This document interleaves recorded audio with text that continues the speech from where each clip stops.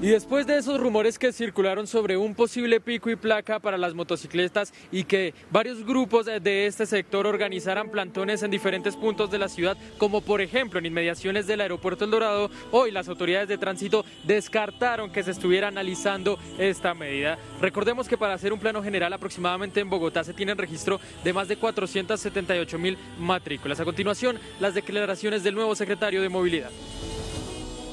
No estamos estudiando en este momento el pico y placa para las motos.